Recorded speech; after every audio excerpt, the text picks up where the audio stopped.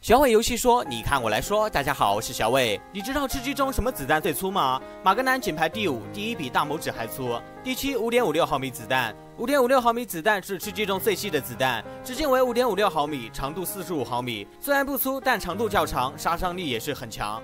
第六，七点六二毫米子弹，子弹直径为七点六二毫米，长度为五十一毫米。相比五点五六子弹，七点六二毫米子弹更长更粗，难怪伤害更为恐怖。第五，马格南子弹，最粗的子弹竟然不是马格南，明明它的威力是最大的呀。其实马格南的口径很细，只有七点六二毫米，但长度比一般的七点六二毫米子弹更长一些，为六十七毫米。果然，光凭直觉是不可靠的。第四，九毫米子弹，看名字就知道了，子弹直径是九毫米，虽然比较粗，但长度较短，只有十九毫米，难怪伤害比较低了。